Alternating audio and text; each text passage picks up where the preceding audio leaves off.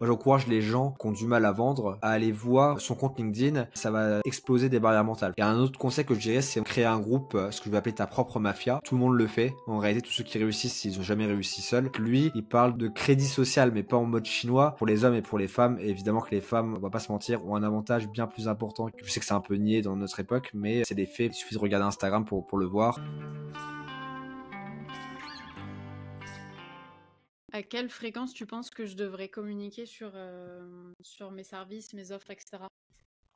Pour pas non plus, pour en fait équilibrer entre j'apporte de la valeur sans rien vous mmh. demander et euh, bah, au fait je propose ça.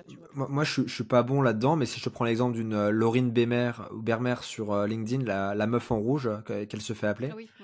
Ah elle, elle communique énormément sur ses chiffres, sur ce combien elle fait, euh, ce genre de choses, tu vois. Parce que aussi, ça fait partie aussi de. Elle, elle vend en fait des un accompagnement euh, euh, sur les réseaux sociaux. En gros, être capable de faire. Je crois que sa promesse est 3000 euros en, en, un mois, mais assez rapidement, tu vois, grâce au réseau. Tu vois. Et elle, c'est une experte absolue. là, elle a, elle, a, elle a explosé son chiffre d'affaires. Je crois qu'elle a fait 200 000 euros de, 100 000 euros de chiffre d'affaires le mois de d'août, tu vois. En septembre, je sais pas combien elle a fait. Et voilà, elle a vraiment explosé, explosé. Et ce que je veux dire pas, c'est qu'elle part tout le temps sur LinkedIn de ses offres et de combien elle fait, etc. Donc ça peut être une manière de faire. Moi, j'encourage les gens euh, qui ont du mal à vendre, euh, ce qui est mon cas, à aller voir son compte LinkedIn. Ça va exploser des barrières mentales parce que vous allez voir en fait qu'il y a une manière de faire. Après, on peut être plus ou moins à l'aise avec ça, mais on peut pas lui, lui, lui nier, lui enlever que, que ça fonctionne. Tu vois, ça c'est ça c'est clair et net. Et je voulais aussi rebondir sur quelque chose que tu as dit c'était, tu as mentionné le fait que bah, comme tu étais toute seule, tu pas besoin d'avoir une énorme audience. Et, je pense qu'en fait, il y a une petite erreur là, dans ce raisonnement, c'est que quand tu commences, généralement, le plus simple pour gagner de l'argent, en fait, aussi pour se faire la main, c'est de faire du service, tu vois? Donc, c'est de vendre ton temps contre de l'argent. Donc, effectivement, là, t'es capé, tu vois? Parce que le seul moyen, c'est d'augmenter, entre guillemets, ton taux horaire ou ce genre de choses. Mais très rapidement, en fait, la différence entre un freelance et ce qu'on appelle un solopreneur, je sais pas si ça te parle le terme. Si, si, En fait, c'est ce qu'on appelle que tu peux, tu vas, tu vas te productiviser. Donc, tu vas créer un produit. En fait, le produit, comment tu vas le créer? En voyant quelles sont les, les douleurs, les questions récurrentes de tes clients. En fait, quelles sont leurs problématiques récurrentes? En fait, limite ta première formation, ton premier e-book ou ton premier produit, peu importe la forme qu'il va prendre, va, va répondre à ces questions-là en fait. Et c'est assez simple. Ce qui permet d'avoir un, un, un, petit produit moins cher pour des gens qui ne seront pas forcément en mesure de payer ton accompagnement, qui va être un peu plus euh, élevé en termes de prix. Et en fait, tu vas toucher un public plus large. Donc en fait, là, c'est intéressant d'avoir mmh. une, grosse audience. Tu vois. Ouais, c'est un peu comme l'offre euh, dont on va parler après que je m'apprête à mmh. lancer. Exactement, c'est ça. Euh, et, évidemment, ça offre aussi de la crédibilité. Euh, tu peux augmenter tes prix en accompagnement parce qu'en fait, bah, on reste sur très humain. On voit un certain nombre d'abonnés, un nombre de likes, de vues sur les sur les publications, et ça joue énormément en fait. C'est de la preuve sociale. Évidemment, la, la, meilleure preuve sociale, ça reste les retours clients, les, les avis, les, les, notations, etc. Mmh. Où les gens bah, disent, bah oui, avec, avec l'accompagnement, j'ai réussi à atteindre tel résultat, je la recommande. Euh, T'as 20 personnes qui te disent ça, 100 personnes qui te disent ça, t'es royal. Donc, euh, donc voilà, c'est un peu comme ça l'idée qu'il faut avoir. Et du coup, est-ce que tu as des conseils pour augmenter l'audience autre que du coup la, la régularité des posts? Euh, Est-ce que euh, est-ce qu'il faut commenter souvent, liker souvent, ou est-ce que, tu vois, si je me mmh, cale une mmh, mmh. demi-heure par jour pour faire mon petit tour, ça suffit ou tu vois? Parce que j'ai, en fait, euh, là, j'ai une, une, prestation mensuelle, en fait, qui fait que je peux me permettre euh, de vraiment bosser en ce moment sur mon développement LinkedIn, etc. Mais c'était juste euh, sur un, un laps de temps défini, en fait. Après, moi, je vais reprendre mon activité avec mes clients, donc j'aurai moins de temps à passer sur LinkedIn, par exemple. Donc le but, c'est pas non plus d'être sur LinkedIn toute la journée à répondre aux commentaires, à non, bien sûr. les posts. Alors là-dessus, là-dessus, tu devrais te créer une, sorte de routine, tu vois. En fait, où euh, imaginons, tu publies tous les jours à 9h, tu vois, ou bah, tu publies à 9h. Tu publies à 9h, euh, tu te connectes à 8h45, tu commences à, répondre aux commentaires de ta publication, aux derniers commentaires de ta publication euh, de, la veille, en fait. Euh, tu n'avais pas répondu le soir. Qui imagine que tu avais, arrêté de répondre aux commentaires à, 17h30 euh, quand tu finis ta journée de travail, 18h. Euh, donc de 18h jusqu'à 7h le lendemain matin, tu as de nouveau des commentaires. Bah, tu vas répondre à ces commentaires-là. Tu vas aussi, en attendant que ta publication sorte à 9h, donc à 8h45, une fois que tu as fait ça, tu, tu réponds à des, aux publications qui sont dans ton fil d'actualité. De préférence, les gens aussi qui, qui, sont en lien avec tes thématiques. Tu réponds aux commentaires. Les commentaires, c'est pas juste ah c'est super, super post, génial, etc. C'est vraiment tu apportes de la valeur, tu vois. Donc tu, tu vas rebondir là-dessus, tu vas poser des questions, tu vas faire des traits d'humour, ce genre de choses. Ensuite, ce qui est bien, c'est de 15-20 minutes après ta publication, on va répondre aux premiers commentaires parce que ça, ça booste, euh, ça incite les gens à commenter. Quand ils voient zéro commentaire, tu as moins envie de commenter que quand on voit 100. Euh, c'est normal. Potentiellement, en fait, tu te dis, ok, ça, ça va pas fonctionner. C'est un peu une, potentiellement une, une boucle puante. Tu as un peu l'impression là, tu vois, si quand tu as zéro like sur une publication, j'ai pas envie de liker ça, personne l'a liké. Par contre, en fait, quand tu vois une publication à 100 likes, 1000 likes, ton, ton, ton, like est plus facile. Et donc, ça, c'est important. Mais si tu me disais, en fait, en termes d'organisation de travail, bah, c'est le, ce qu'il faut retenir, c'est la routine. Donc, en fait, tu peux te dire, bah, je me connecte 15 euh, minutes avant de publier, je reste connecté euh, ensuite pendant 30 minutes, donc jusqu'à 15 minutes après la publication. Tu vois, tu vas faire des commentaires, tu vas répondre à quelques MP, etc. Tu vas aussi euh, regarder les publications des, des autres qui t'intéressent. Tu, tu, vas un peu espionner à droite et à mmh. gauche euh, les gens. Tu vas, tu vas capter les publications qui peuvent t'intéresser pour capturer des idées de publications à toi. Tu vois, tout ce genre, de choses. Donc, euh, donc voilà. Il y en a, moi, je suis mauvais en commentaire. je le fais pas du tout assez. Ça me, ça me saoule un peu. Mais c'est une grave erreur. Effectivement, il y en a qui vont dire qu'il faut plus commenter 30 fois. Parce qu'un bon commentaire, euh, sur une publication qui fait de la visibilité, tu peux capter quasiment 40 à 50% de, de, des vues. Donc sur une publication qui fait 50 000 vues et que tes top commentaires dessus, bah, potentiellement tu vas choper 20-25 000 vues en fait sur là-dessus. Donc potentiellement en fait ça peut être une manière de faire. Donc les gens que tu sais que tu as envie de publier, que tu aimes, aimes, bien le contenu et qui en plus potentiellement sont dans ta, dans ta niche, et qui peuvent, tu peux avoir intérêt à commenter parce que les gens qui vont regarder euh, cette publication sont aussi potentiellement des, des, clients à toi, en fait, des potentiels clients. Donc en fait, bah, tu mets la cloche pour recevoir la notification. Et en fait, bah, tu essaies d'être là quand ils le font. Ça veut pas dire que tu dois euh, le faire sur 100% de leur poste, être là à, systématique parce que tu as, un travail derrière. Euh, tu dois aussi te concentrer sur tes propres tâches. Mais voilà, si, tu te rends compte fait, que ces gens-là publient quasiment en même temps que toi, bah c'est jackpot. Donc tu as ça. Et un autre conseil que je dirais, c'est moi, c'est créer un groupe, euh, ce que je vais appeler ta, ta propre mafia tout le monde le fait. En réalité, tous ceux qui réussissent, ils n'ont jamais réussi seuls. Ça a plusieurs effets bénéfiques. C'est qu'en fait, bah, tu as des gens qui vont être au même niveau que toi quand ils commencent. Et en fait, bah, ça va être des gens avec qui tu vas te, tu vas pouvoir discuter pour voir bah, quelles sont vos erreurs, quelles sont ce qui fonctionne. Vous allez vous conseiller entre vous. Ça va aussi vous, vous motiver. Il y a une sorte d'émulation positive du groupe qui est, qui est assez saine à avoir.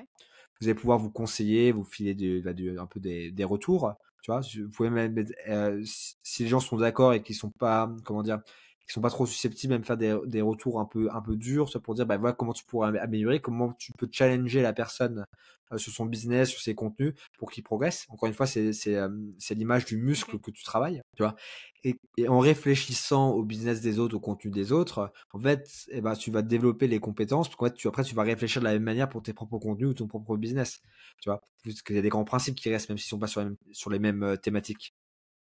Ok. Donc euh, un bon truc à faire, bah, c'est effectivement trouver des gens qui, te plaisent sur LinkedIn, euh, qui sont plus ou moins au même niveau que toi. C'est toujours, généralement, c'est, plus compliqué d'aller voir des, des, gros parce que sur les réseaux, le nombre d'abonnés va définir un peu avec qui tu traînes. C'est, c'est malheureux, mais c'est comme ça. Ce qu'on a, ce que je sais pas si tu connais euh, le, créateur de contenu Danco. c'est celui qui fait des schémas sur, sur Insta, là, non? Ouais, il fait du motion design sur Insta, notamment. c'est ça, ouais. Et, en fait, lui, il parle de, c'est quoi, c'est de, de crédit social, mais pas en mode chinois. C'est la monnaie sociale. Je crois que c'est la monnaie sociale son terme. Et en fait, c'est de dire, si t'as 20 000 abonnés sur un réseau, fait, bah, tu vas traîner avec des gens avec autour de 20 000 abonnés. Parce qu'en fait, c'est ta, ta, crédibilité, tu vois.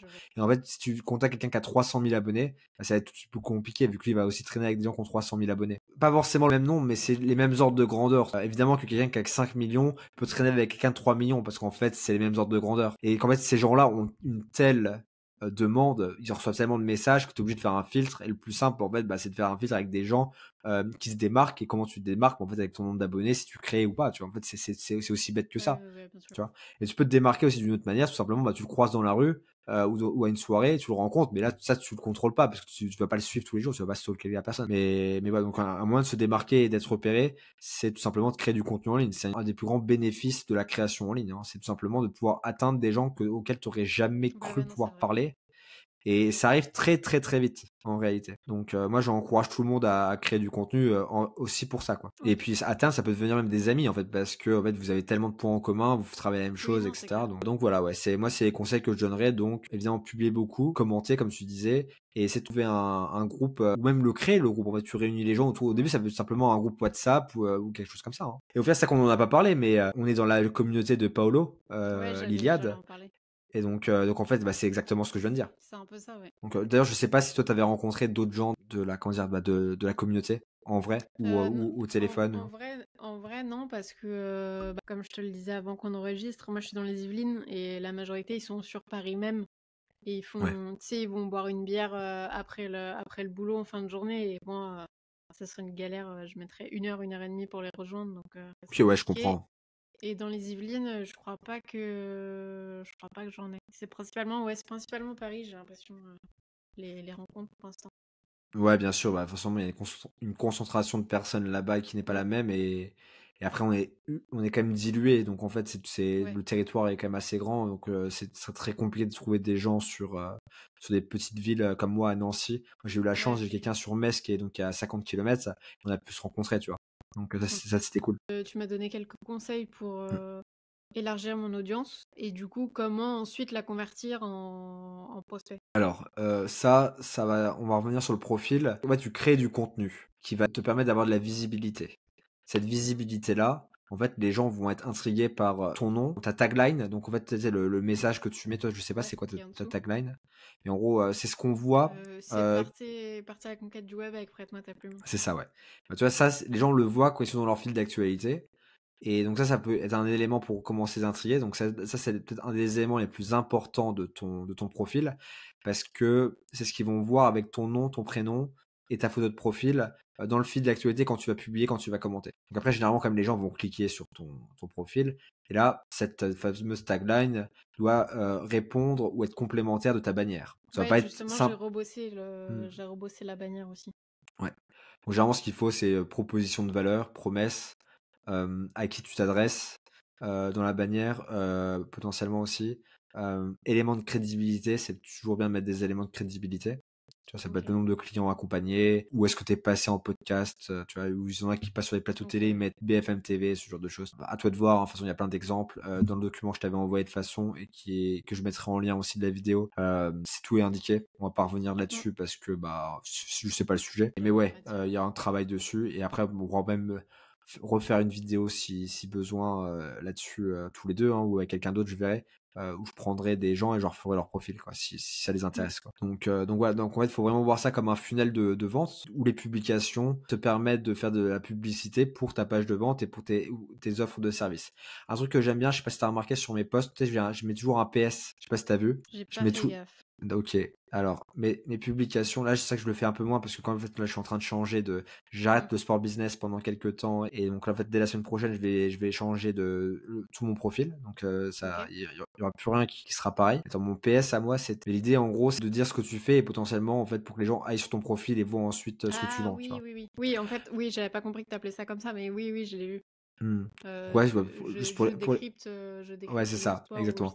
juste pour les auditeurs, je dis PS, si tu me découvres avec ce poste, je décrypte l'argent et le business dans le sport. Tu peux me suivre ici sur LinkedIn pour en savoir plus sur les coulisses du sport business. Tu vois. Et après, je dis d'autres choses sur mon profil. Mais en fait, le but, c'est que les gens s'abonnent et, et, cliquent en fait. Donc, j'incite les gens à, me suivre. Et depuis que j'ai ajouté ce, ce, petit encart, qui vient justement de Modèle Aves, clairement j'ai repris euh, ce qu'elle faisait parce que je trouve que c'est excellent. Et ben j'ai vraiment beaucoup beaucoup plus de visites sur mon profil et beaucoup plus d'ajouts sur mon profil. Genre c'est de l'ordre de plus 50%. Hein. Ok. en fait je le, je le, vois beaucoup, mais je pensais pas que ça faisait autant la différence en fait.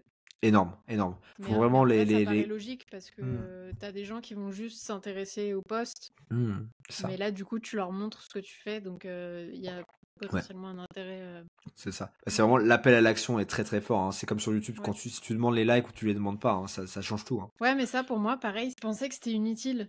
Tu sais, quand les gens disent euh, abonne-toi à la chaîne et tout. Non, non, c'est vraiment moi, utile. Quand ils disent ça, j'ai pas envie de m'abonner, donc je pensais que tout le monde était pareil et que du coup ça servait à rien, tu vois. Mais apparemment, ça fait vraiment une grosse ça différence. Ça dépend en fait. quand, c'est mal fait, c'est non avenu, tu vois. Mais quand le. En fait, il y a plein de gens qui, qui consomment du contenu qu'ils aiment bien mais juste, ils y pensent pas, ils ont pas le réflexe de liker. En fait, il y a plein, plein de gens qui ne like jamais. Et d'ailleurs, c'est même sur quelque chose d'autre. C'est que sur LinkedIn, tes clients, généralement, ce sera des gens qui n'auront jamais liké un de tes posts et qui vont dire Ça fait trois mois que je te suis, que je lis tous tes posts, j'adore ce que tu fais.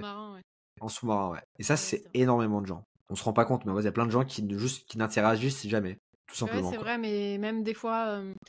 pas tellement sur LinkedIn, mais plus quand je faisais mes posts prête note à plume, parce que je les mettais aussi sur Insta et Facebook. Et j'ai des gens qui m'en parlaient alors que je savais même pas qu'ils étaient abonnés à la page, tu vois. Mmh, ouais, bien sûr, bah, c'est très particulier, mais c'est comme ça. Mon autre question, c'était avant les posts LinkedIn, c'était essentiellement du texte. Après, il y a eu les carousels, etc. Mmh. Et là, en ce moment, j'ai l'impression que si tu mets pas un selfie sur ton post, personne, personne ne le verra jamais.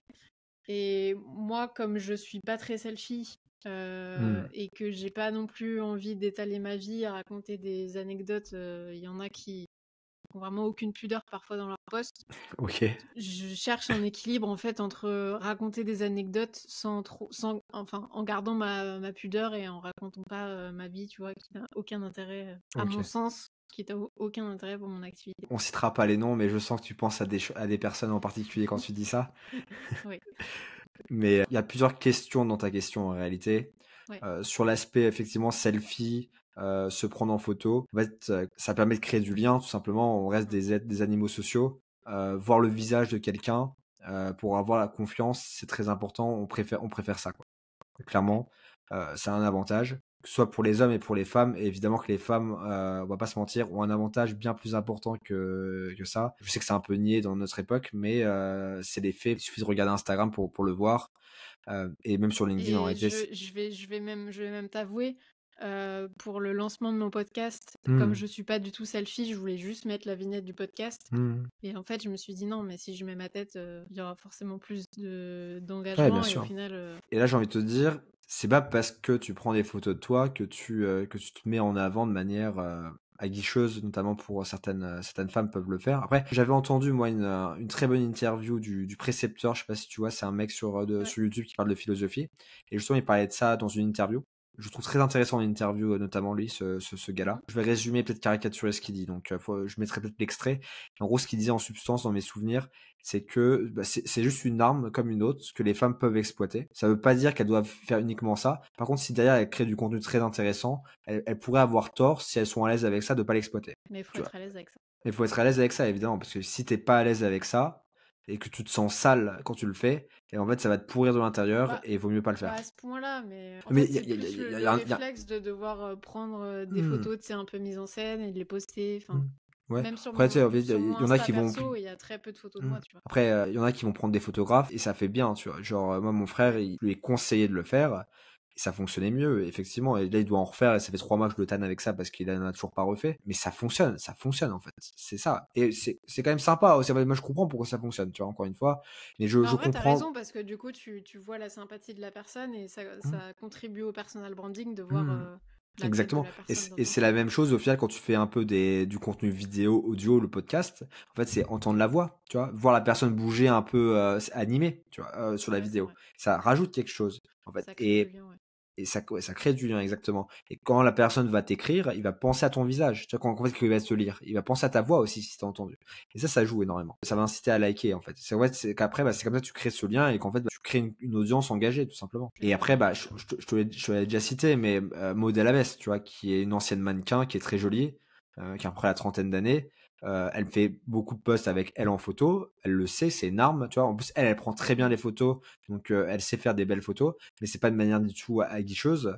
Et euh, enfin, moi, je, moi, je conseillerais à toutes les femmes, tu vois, si d'essayer de, copier un peu ce modèle, même si c'est très compliqué parce qu'elle fait vraiment des très belles photos, tu vois.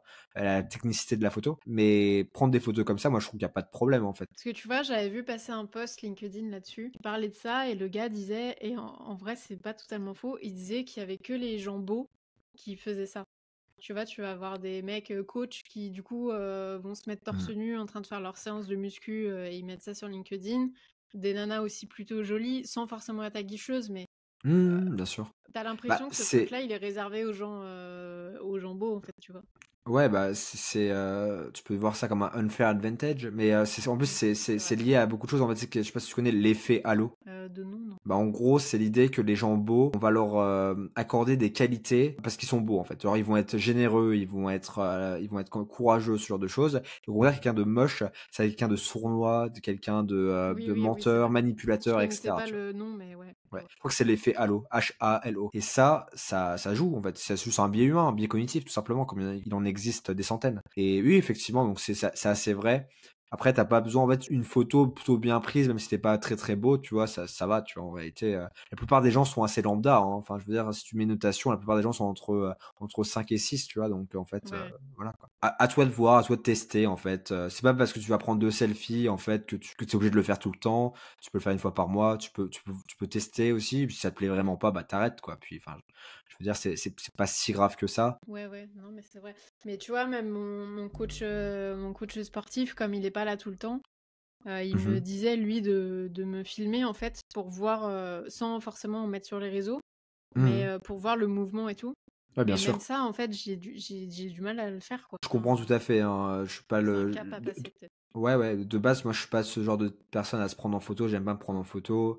La vidéo, ma chaîne YouTube, là, je, je la fais pour m'entraîner à parler devant la caméra parce que c'est un gros enjeu pour moi au niveau personnel. Donc, donc je comprends tout à fait tes, tes craintes, tes, tes réticences, etc. Hein. Enfin, sur plein d'aspects. Hein. Euh, j'ai une nouvelle offre que je voudrais euh, lancer pour les micro-entreprises et ceux qui ont qui ont pas trop le budget de déléguer euh, l'entièreté de leur rédaction web, mais mmh. qui sont quand même souvent demandeurs de conseils.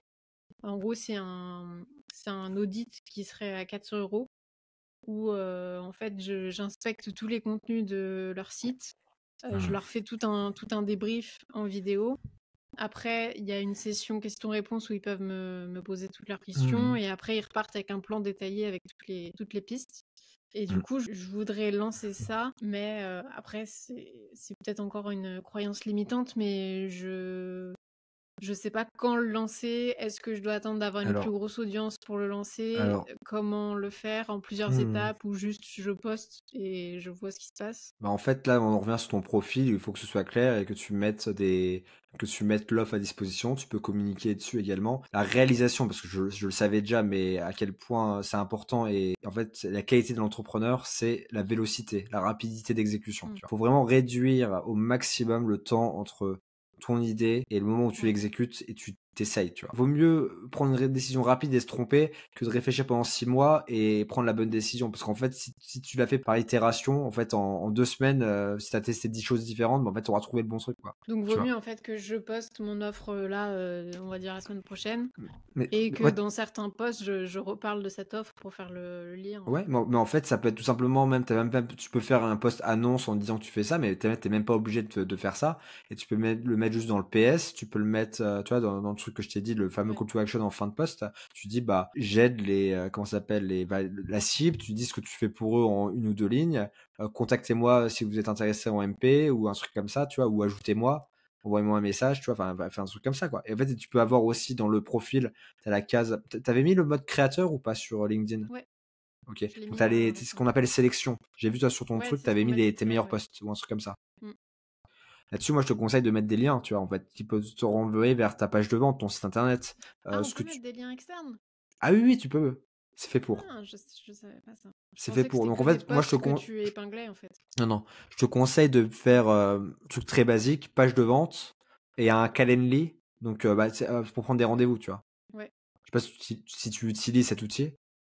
Ok, ajouter un lien. Ok, nickel. Ouais. Euh, Calendly, euh, j'ai voulu, mais Ok, qu'est-ce qui te dérange dedans? Euh, bah, en fait, le truc, c'est que mon planning change tellement d'une semaine à l'autre que du coup, ça me, ça me bloquerait de, de Mmh. d'ouvrir des créneaux et finalement d'être bloqué. Mmh. Après, ça peut être tout simplement un, un, ce qu'on appelle un, un, un, type form ou un tally, donc un formulaire où les gens répondent à la question. En fait, euh, tu, tu, tu, crées le formulaire, tu poses des questions, ce qui t'intéresse à savoir, donc euh, coordonnées, pourquoi ils sont intéressés, etc. Toi, tu fais un truc euh, plutôt propre. Et en fait, ils répondent à ça, toi tu reçois un mail, et ensuite tu les recontactes par mail, et en fait, et tu discutes comme ça. Et en fait, euh, c'est réglé. Quoi. Ouais, un type c'est bien. Tu appelles ça genre, pas forcément prendre contact, tu mets un vrai appel à l'action en me disant, tu sais, mmh. qui, qui donne envie de cliquer, quoi. Mais qui fait comprendre que c'est pour euh, potentiellement travailler ensemble, tu vois. Donc, euh, moi, je te conseille de faire ça. Donc, le, le tally ou le type form, enfin, le formulaire, pour prendre contact. plus ta page de vente. Dans ta page de vente, tu peux aussi avoir ce fameux tally, tu vois, parce qu'en fait, bah, peu importe, tu vois. Je, t'enverrai si tu veux les, les, les, les, outils pour ça. Ouais, je veux bien. Mais du coup, en plus, là, sur. Euh, j'ai préparé le post qui est en carrousel, du coup. Mmh Et donc, en fait, l'offre qui est. Enfin, l'audit qui est à 400 passe à 200 pour les trois premiers inscrits. Et donc, du coup, l'appel à l'action, c'est de s'inscrire le mmh. plus ah, rapidement possible, en gros, pour, profiter de, ça. Moi, j'ai pas de problème avec les prix bas ou même euh, travailler gratuitement au début. Le but, c'est de se faire la main, c'est d'avoir des, des avis. Et en fait, ça, c'est un truc que je proposais pas avant, en fait. Et après, faut juste pas se cacher derrière ça et se dire, ok, je fais du gratuit, genre je, je propose 10 coachings gratuits. Mais après, euh, les prix ils vont être plus élevés, tu vois. Et il faut pas avoir peur d'augmenter. J'ai proposé des devis des fois qui étaient beaucoup trop chers par rapport à, visiblement au marché où la personne n'était pas intéressée, tout simplement parce qu'en fait c'est pas dans son ordre de prix ou euh, mmh. et qu'il il a pas le budget pour ça. Et c'est pas c'est pas grave, tu vois. En fait, on, a chacun notre marché. Euh, va voir quelqu'un de moins expérimenté, c'est pas, pas grave, tu vois, ou quelqu'un qui se, qui se valorise moins cher. C'est comme ça. De toute façon, l'objectif pour nous, euh, comme tu dis, on fait du service actuellement. Euh, on, est limité euh, en termes de temps. Donc, vu qu'on vend notre temps, on peut pas avoir un nombre de clients illimité. Donc, en fait, mmh. l'objectif, c'est d'avoir l'optionnalité, donc de pouvoir choisir les clients avec qui on travaille. En fait, si un client te dit non, bah, tant pis, tu vois, en fait, c'est comme ça, c'est la vie faut pas être en mode, faut pas être dans le besoin. Quoi. En fait, c'est ça l'objectif qu'il faut, qu'il faut, qu'il faut retenir. Donc voilà, tu as, cette offre là. Après, toi, tu as tu m'as dit tu voulais faire un audit, mais tu peux aussi te dire en fait juste quelqu'un, en gros, bah tu l'aides à créer son contenu, genre juste à, à progresser. Tu elle le fait déjà elle-même. Tu peux faire un mmh. accompagnement, tu genre juste de quatre séances ou de même de, de deux séances, trois séances, peu importe le comment tu packages ça. Toi, de toute façon, tu, tu testes. En fait, en discutant avec ces gens là, tu vois, qui sont intéressés par ça, qui le font eux-mêmes, tu vas découvrir en fait qu'est-ce qu'ils veulent. Et en fait, tu adaptes ton offre à ce, à ce qu'ils veulent. Donc c'est pour ça que je te dis récolter la data encore une fois, publier, ça va te permettre aussi de, d'en récolter, de discuter avec les gens, parce que les gens vont vouloir, les gens qui te lisent tous les jours, tu vois, ou qui vont te lire trois fois par semaine, peu importe la fréquence.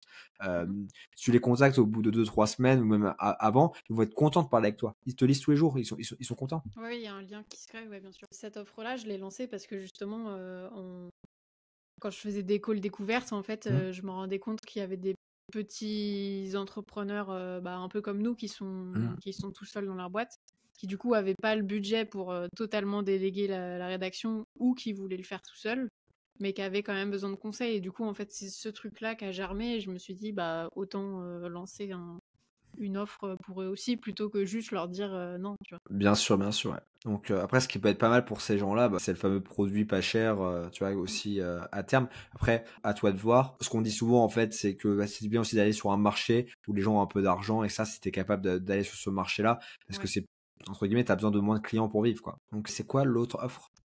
L'autre offre, du coup, elle n'est pas encore prête parce qu'elle est beaucoup plus beaucoup plus complète, mais en gros, ça, c'est le pack de démarrage à la conquête du web, où en fait, mmh. tu as tous les services de prête-moi ta plume. Donc en gros, tu as la rédaction de toutes les pages de ton site. Pendant trois mois, tu as quatre articles de blog euh, publiés en automatique sur ton site. Tu as une page à propos euh, hyper bien storytellée par rapport au parcours du fondateur, euh, les valeurs d'entreprise, etc. Il y a un e-book sur l'importance d'avoir une page Google My Business, comment l'optimiser, etc et un e-book sur euh, un peu une introduction au, SEO. Ok. Alors ça c'est très intéressant vu que c'est extrêmement complet et tu peux même utiliser des parties de, cette formation ou de, ce, cet accompagnement pour créer du contenu sur les réseaux. En fait, ce, que, ce, que, les gens achètent, c'est pas le c'est pas le savoir, tu vois. C'est euh, là c'est de l'accompagnement, c'est comment tu c'est de la personnalisation pour eux, tu vois. Mm. En fait, ce qu'ils achètent, c'est un, savoir-faire quand ils vont être avec toi. C'est euh, s'assurer qu'il travaille avec quelqu'un de compétent, que ça va augmenter les chances drastiquement que ça fonctionne, ce que le service que tu vas leur offrir. il pourrait, tu peux tout faire par toi-même, soit encore plus avec l'ère d'internet, tu vois. T'apprends tout. Euh, t'as un mec qui a, été médaillé olympique au javelot, il a appris sur YouTube. Tu un, un africain. à partir de là, tu peux tout apprendre. Quant à ça. Ce que, ce que je veux dire par là, c'est que euh, je sais pas si tu connais Nicolas Cole, l'américain. En gros, c'est le plus, c'est le plus gros ghostwriter euh, et, écrivain en ligne. appelle ça en anglais, c'est le terme de writer. Euh, et, et, le gars, il fait tout gratuit, en fait. Et quand il, quand il sort un bouquin, en fait, techniquement, tu as déjà le contenu gratuitement sur Internet. Sauf ce que mmh. tu achètes, c'est quoi? C'est déjà une manière de le soutenir, parce que le mec, tu le kiffes, donc tu veux le soutenir. Et aussi parce qu'en fait, il te repackage ça de manière très cohérente, avec une structure, etc. Et c'est ça que tu payes, tu vois. Et à côté de ça, il y a des accompagnements, il, il, il, il fait des bootcamps tous les, tous les mois, je crois, où tu as 800, peut-être même plus de 1000 personnes tous les mois. Euh, à plus de 300 euros, je crois, l'accompagnement. Enfin bref, il faut, c'est des machines à cash, quoi. Mais je crois que c'est toi dans ta vidéo d'ailleurs qui disait que les, les livres de non-fiction, en général, c'est juste un, des articles de blog qui sont étirés à mort. Ouais, ouais, bah ça c'est le petit, c'est un petit taquet que je fais parce que on a mmh. beaucoup, beaucoup de qui sont issus de ça. Et en fait, ils répètent, ils répètent, ils répètent, et tu bah, sens qu'ils rament pour arriver à 200 pages, tu vois. En plus, c'est les 200 pages, mais 200 pages où sur une page, t'as as, as, 10 lignes écrites en caractère 20, tu vois pour en avoir lu beaucoup, ouais, j'arrive maintenant à dissocier ceux où en fait, mmh. euh, parce que moi je surligne, je mets des post-it et tout.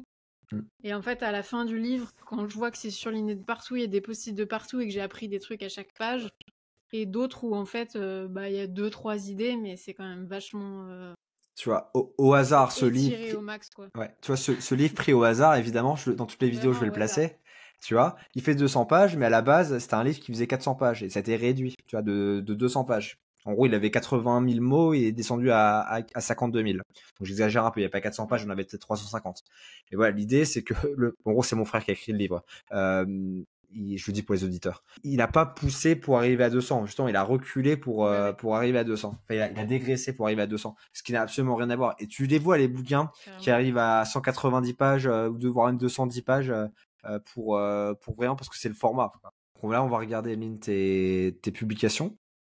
Euh, là, on c'est sur euh, les, pizzas. Euh, tu connais la différence entre une pizza aux anchois et Adriana Carambeu pour interrogation. Passage de ligne parce que Google Images, non, je t'explique. Le problème que j'ai avec ce type de publication, c'est qu'en fait, on comprend pas vraiment. En fait, effectivement, ça dit attention, on se dit, ok, c'est bizarre, mais est-ce que j'ai vraiment envie de savoir pourquoi c'est bizarre? Est-ce que ça m'intéresse vraiment en fait? Est-ce réellement? Euh, moi, je sais que non. Après, c'est pas mon sujet. Je sais que quand ça parle de Google, je comprends vite quand même que ça y a des gens sur deux que ce soit du SEO, ce genre de choses. Euh, donc c'est pas, c'est pas, c'est pas mes sujets, ça c'est clair. Euh... En fait, c'est une blague euh, connue euh, chez les consultants SEO, quoi. Donc c'est quand même. D'accord, ok, ok. C'est, du, ok, ok. C'est des private jokes, quoi. Ouais, un peu. Ok. Mais des private jokes du coup qui peuvent intriguer ceux qui, qui, qui sont pas au courant, tu vois. Ouais, mais la plupart des gens ne vont juste pas capter. là, vraiment, je me passe comme personne lambda et potentiellement, en fait, vont juste se dire, en fait, mais qu'est-ce qu'elle raconte celle-là, tu vois? ils peuvent se dire ça, tu vois, en fait. Ah, tu veux dire si on, si on lit pas le, si on lit pas le post, tu veux dire? Ouais, parce qu'en fait, le seul objectif de l'accroche, c'est que les gens cliquent sur voir plus pour lire le post. Ok. Donc, quant à les impressions, faut pas, faut jamais oublier, que bah, pour avoir beaucoup d'impressions, il faut réussir en fait en réalité à, faire cliquer sur voir plus. Mais parmi par exemple sur 10 000 impressions, ce qui est déjà très bien, euh, t'as pas 10 000 personnes qui ont appuyé sur voir plus. Je sais pas le pourcentage. D'ailleurs, euh, LinkedIn, si un jour ils pouvaient mettre ce genre de data, parce que sur YouTube on a absolument tout, et sur LinkedIn, qui est sur l'écrit, donc ça doit pas être très compliqué, ils sont incapables de le faire. Mais ça c'est notre histoire. Moi, je sais pas le genre d'accroche que, que je mettrais et que, que je recommanderais tout simplement. Euh, et globalement, là, j'ai envie de revenir en fait sur les grands principes. C'est compliqué en, live là, de sachant que j'ai pas, que j'ai pas fait le travail préparatoire, mettre des commentaires, etc. Mais si je reviens sur les grands principes, parce que c'est ça qui, pour moi, qui, qui sont importants. 80% du succès ou non d'une d'une publication, c'est lié à l'accroche. Une mauvaise accroche avec un excellent post, c'est ça fonctionne pas. Une excellente accroche avec un post très très moyen, ça peut fonctionner. Ça va fonctionner, mmh. tu vois? Okay. Euh, donc c'est ça qui est pour Moi j'ai tendance à faire, l'inverse. Ah bah c'est le plus dur en même temps tu te dis puis tu te dis mmh. euh, quand même euh, mon poste il est quali les gens ils vont le lire tu vois mais en fait non les gens s'en foutent parce qu'en fait faut pas oublier que t'es en concurrence avec les autres posts LinkedIn mais t'es aussi en concurrence avec TikTok avec YouTube avec avec le cinéma avec le foot t'es en concurrence avec tout hein. Donc, en fait, c'est la, la, différence entre LinkedIn et, et, les écrits vraiment édito que je peux faire mmh. du coup pour, pour mes clients. Les réseaux sociaux, ce sont des, faut voir ça comme des caisses de résonance où en fait les gens, euh, tu vas sur une place de marché où il y a tout le monde qui est là, tout le monde publie, vend sa soupe, mmh. et toi, leur but en fait, c'est que les gens, euh, ils écoutent ce que tu as à dire, tu vois? Mais sauf que okay. sur, t'es, à Athènes pendant, pendant la, sur l'agora, et il y a tout le monde qui vend sa soupe. Donc toi, il faut, il faut que tu captes l'attention pour, vendre ta soupe. Je crie le plus donc. Euh, donc c'est pour ça qu'il faut, il faut trouver, euh, enfin, faut être pertinent, faut être, euh, faut bien écrire, faut, faut réussir à capter euh, du lecteur, et, et c'est pas évident. Et c'est pour ça qu'il faut beaucoup publier parce que c'est le plus dur à choper ça. Un autre grand principe, c'est de dire en fait que chaque ligne doit être euh, essentielle pour comprendre le poste. si c'est si c'est superflu, ça dégage en gros. Ça c'est le. Donc en fait, il faut y a des répétitions des fois. Si je, si je prends ton poste sur. Tu vois l'écran juste ou pas? Ouais. Ok. Là, ça, sur ton poste, les experts SEO vous mentent. Aucun expert en SEO ne peut prévoir le futur. Par définition, un professionnel du SEO n'est pas doté d'un don de voyance. Tu vois. Là, la phrase 2 et 3, en fait, elles font, elles font un peu doublon. Tu dis, entre aucun expert ne peut prévoir le futur et euh, un professionnel du SEO n'est pas doté d'un don de voyance, c'est quasiment le même message, voire même euh, à 99%. quoi. Donc en fait, tu peux déjà, tu peux déjà dire que tu peux en dégager une, ou tu peux faire une fusion des deux. Tu vois. Mais en gros, c'est ça l'idée. Euh, là, j'ai dit parce que personne, absolument personne, ou absolument personne ne sert à rien. En fait. Ok, tu, tu c'est de l'emphase, tu, tu, tu, etc. Tu peux réussir avec un style littéraire, je crois que je te l'avais déjà dit, mais en fait, il va falloir que tu un niveau absolument exceptionnel et c'est aussi, les gens ne veulent pas lire ça. Donc en fait, même, même si tu avais un niveau exceptionnel, juste les gens ne veulent pas lire ça euh, sur LinkedIn. Euh, oui, une image, c'est que bah, les gens ils lisent sur LinkedIn dans les transports en commun, quand ils sont aux toilettes, euh, quand ils sont devant la télé. Euh, malheureusement, les gens regardent des films ou des séries et en même temps ils sont sur leur téléphone. Ça, ça je comprends pas, mais c'est une autre histoire. Euh, donc c'est ça qu'il faut se dire, c'est que le temps d'attention et le niveau d'attention est très faible. Donc si tu commences à perdre les gens faisant des, des, des, phrases, des, métaphores en fait, qui sont incompréhensibles, les gens vont, vont pas capter. En fait, ils vont juste dire mais qu'est-ce qu'elle raconte? Et c'est malheureux, hein. je, te dis, c'est vraiment pragmatique ce que je te dis, hein. c'est utilitariste à, souhait, mais c'est comme ça que ça fonctionne. quoi. Donc c'est ça qu'il faut se dire. Et aussi, autre chose, c'est... Ouais, donc en fait, le but, c'est de rendre vraiment le, plus digérable, digestif possible le contenu. Donc en fait, c'est toujours parce que les gens ont, très peu d'attention, ont un niveau d'attention très faible. Donc c'est ça. Et, je voulais aussi parler de la longueur des publications. Donc, ce qu'on dit en fait, c'est 15-20 lignes ou 800 à 1500 caractères. Ça ne veut pas dire évidemment que tu peux faire des posts qui font 2500 caractères ou, même un peu plus. LinkedIn, je crois que c'est 3000 la limite maintenant. Donc, mais, mais, globalement, les grands, grands principes pour fixer un cadre, c'est ça, c'est 800 à 1500 caractères ou 15 à 20 lignes. pour que tu vois à quoi ça correspond, je t'ai mis plein de publications. Mais tu vois, ça c'est l'idée de ce type de post, tu vois. Ok. L'important, c'est pas, c'est pas de voir ce qu'il dit, c'est la taille, tu vois. C'est voir, c'est, en fait, c'est 1, 2, 3, 4, 5, 6, 7, 8, 9, 10, 12, 13, 14, 15, 16. 16 lignes, tu vois. Ouais, en fait, je pense que c'est vraiment une déformation professionnelle de, du métier de rédacteur, quoi, parce que c'est. Mmh. On peut se dire que c'est de la rédaction, sauf qu'en fait, c'est un métier totalement différent. Ouais, c'est ça, tu vois. Tu vois, ce poste. Ouais, tu vois, ça, moi, ça me paraît super court. Mmh. Alors qu'en fait, euh, c'est chaque, euh, chaque phrase compte. De LinkedIn, et, ouais, chaque phrase compte est essentielle, tu vois. Et enfin, elle est très très forte. Mathilde Cossé, euh, enfin, c'était une brute hein, sur. et puis elle écrit très très bien. Je te conseille sa newsletter. je vais même savoir ce que, que, je, que je fasse ça, mais j'ai répondu à sa newsletter pour lui dire à quel point je la trouve bien, tu vois. C'est, je, je fais jamais ah ça, tu vois. c'est bien. Mais elle a, elle a partie de thèmes qui me, qui me, qui me parlaient énormément, justement. Et donc voilà, je, je m'étais permis de lui envoyer le, le message je dois remonter une autre, euh, pareil, bah, Amandine Barthes, tu vois, qui, qui à ce poste-là, il est un peu plus touffu. Ah bah, je suis intelligent, moi, j'ai j'ai mis le profil. mais tu vois, tout à l'heure, on parlait de l'importance du personal branding. Je sais pas si tu as vu passer ça, mais il y a un, gars qui a chopé le carrousel d'Amandine et qui l'a publié sur son compte à lui. Sachant que sur euh, le carrousel d'Amandine, euh, ça se voit direct que c'est elle. Il y a la loutre, il y a son petit emoji avec sa tête, c'est bleu, mmh. lavande, voilà. Et en fait, tous les commentaires, c'était mec, t'as juste volé le poste d'Amandine Barr, en fait. Et tu mmh. vois, ah, c'est la force. genre hein. moment que tu te dis que c'est ton personal branding est tellement fort que les gens ils voient ton poste et ils, pensent direct à toi et, ils la défendaient comme mmh. si. Ouais, mais après, le, le, mec est vraiment pas malin parce que j'imagine tu me dis ça qu'il l'a pas cité, quoi.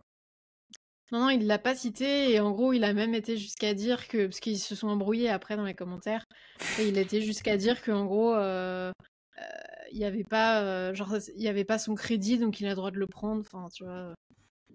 Ouais, bah il s'est fait prendre la main dans le sac et après il, essaie de se dépatauger comme il peut quoi. Mais là tu vois, elle, elle fait un post fait, très carré.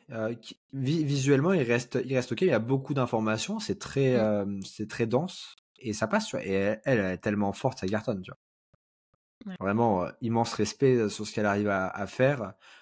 incapable de juger la qualité de son contenu, et de toute façon, ça m'intéresse pas. Sur le fond, par contre, sur la forme, c'est quelqu'un à, étudier parce qu'elle a vraiment compris beaucoup, beaucoup de choses. Son personal branding est très bon. voilà, je, ne m'intéresse pas au SEO, quoi. Ouais.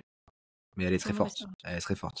Là, je te montre un post où il y a quand même beaucoup plus de texte et ça fonctionne très bien, tu vois. Et ça fonctionne très bien parce qu'elle a une audience engagée, qu'elle est, qu'elle est très douée, etc.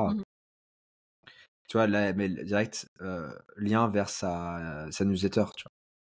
En, ouais, bah, commentaire. je le fasse aussi. Hein. je l'ai créé hier, donc j'ai pas encore tous les mmh. réflexes. Mais... Ouais, bien sûr, bien sûr. Toi, dans un premier temps aussi, bah, tu peux avoir donc en, en, sélection sur ton profil, bah, je, te, je te montre en fait comment tu peux faire. Tu vois, moi j'ai le podcast et j'ai rejoint le BTC Club, tu vois, donc les ma newsletter. ouais. Eh, c'est mort hein, tout ça, mais je te montrais des gens sérieux et pas des gens comme moi. Euh, donc Ulysse Lubin. Bah déjà rien que ça c'est game changer parce que moi je pensais vraiment que c'était juste des posts que tu pouvais épingler quoi. Ah non tu vois tu cliques dessus boum site internet page de vente tac direct. Tu vois. Et il y a sa méthode explorateur qui doit être non c'est même pas c'est même pas ça c'est son atelier d'introspection toi c'est il a il a deux produits euh, méthode, enfin 30 exercices pour trouver ta voix, donc l'atelier mmh d'introspection. Et sinon, il a un truc, mais il est pas trop à l'aise de le mettre devant parce qu'il veut pas être formateur LinkedIn, mais il a une, il a une formation LinkedIn qui est, qui est vraiment sympa. Ok. Parce que oui, pour le coup, il a vraiment tout compris, hein, tu vois, à LinkedIn. Et après, il publie depuis 2020, hein, donc ou 2021, mmh. donc bah en fait, t'as trois ans en fait de, de, publication. Ouais. bah en fait, normal, comme c'est nouveau pour moi, c'est des, des... jusqu'à maintenant en fait les posts je les consommais vraiment comme, euh, comme mmh. lectrice et pas. Euh, j'avais pas le réflexe forcément d'analyser les codes, etc. Mmh, bien sûr. Que du coup, il faut que, que je switch et que je sois plus mmh. dans l'observation, que j'active les cloches, comme tu disais, de certains créateurs. Je pense pour que ton. analyser ce qu'ils font. Ouais, tu vois, genre le poste là, je pense clairement tu peux retirer quasiment un tiers des lignes, tu vois ou un tiers des mots plutôt parce que ouais, tu vas c'est pas exactement tu vas pas supprimer des lignes entières des fois tu vois là là pour le coup tu vas en supprimer une sur les deux ou fusionner les deux mais des fois juste ça, tu vas supprimer ces deux mots là tu super, en fait. ouais mais tu vois tu dis c'est du littéraire et c'est exactement ça en fait bah, c'est une autre manière d'écrire. Il faut à la fois s'adapter euh, à, l'audience. En fait, les gens lisent. Tu sais, c'est comme les solines. Tu vois, les solines, les gens quand ils sont arrivés. Moi, je rigolais la première fois que j'ai vu mon frère écrire un article en, en, en sautant des lignes comme ça. C'était en 2015, tu vois. Et je me dis, mais mmh. qu'est-ce que tu fais? En fait, juste, moi, j'étais pas du tout là-dedans. Donc, en fait, il y, en a même, il y en a même, et je pense encore une fois à quelqu'un de particulier, qui saute des lignes, mais tu vois, par exemple, il va mettre parce que saut de ligne, personne. Enfin, tu vois, mmh. c'est des sauts de ligne qui sont juste histoire de sauter des lignes, mais à la lecture, moi, je trouve ça hyper. ouais, mais après, il y, a plein de gens en fait qui, qui voient juste parce qu'en en fait, ils réfléchissent pas. il faut faire des sauts de ligne et ils comprennent pas ce qu'il y a derrière. À quoi ça, en fait, si tu comprends pas que tu fais des solines pour pour aérer, qu'il doit avoir quasiment un, côté presque artistique euh, au, mmh. tu sais, même des fois une symétrie euh, sur ton, oui, ton poste sur les bullet points que ce ouais, c'est ça. Et en fait, si la personne ne comprend pas ça, en fait, et qu'elle dit juste faut faire des sauts de ligne, et ben en fait, ça, va être un singe qui va sauter des lignes, tu vois, en fait, sans comprendre à quel moment faut le faire. C'est un peu ça, ouais. Et il y a plein de gens qui, qui font ça. Et c'est pour ça que je te parle des grands principes, parce qu'en fait, c'est ça qui compte. C'est pas, c'est pas c'est pas le petit hack à la con. Euh, ça peut, ça peut servir à, à court terme. Mais en fait, si tu mmh. comprends euh, en marketing, si tu comprends la psychologie humaine, euh, tu fais du marketing, peu importe euh, ce que tu fais, tu étais bon.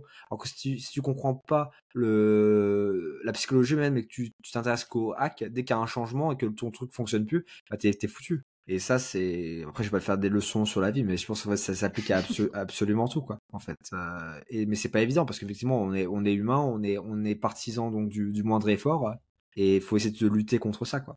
Je te propose qu'on se, qu'on s'arrête là. Euh, est-ce que tu as une conclusion ou euh, des, sujets que tu souhaiterais aborder peut-être une prochaine fois ou coup, je te laisse conclure euh, bah, j'ai pas tellement de questions. j'ai eu la réponse et même plus à, toutes celles que j'avais que je m'étais notées. J'ai appris plein de trucs. Donc merci encore. du coup, j'ai hâte de mettre tout ça en place, tous les petits, les petits tips que tu m'as donnés.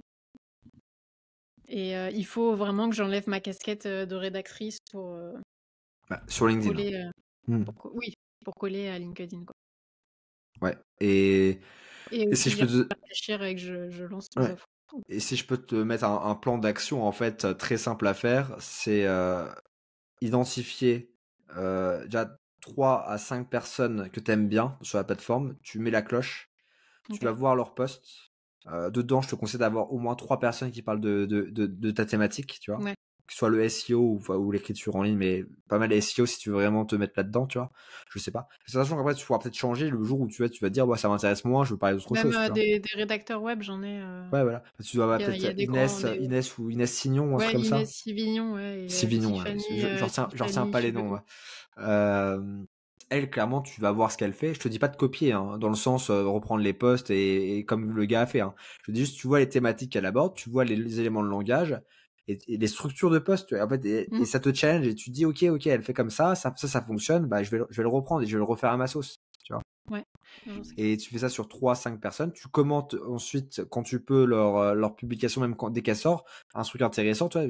Après, ne passe pas 15 ans, hein, te, te, te, te, tape pas la tête contre les murs parce que euh, tu trouves pas quelque chose d'intéressant. En pire, tu mets un truc bateau, elle te voit. Après, au bout de 3 semaines, potentiellement, tu peux la MP parce qu'en fait, tu, tu, elle t'aura vu, elle t'aura peut-être ajouté.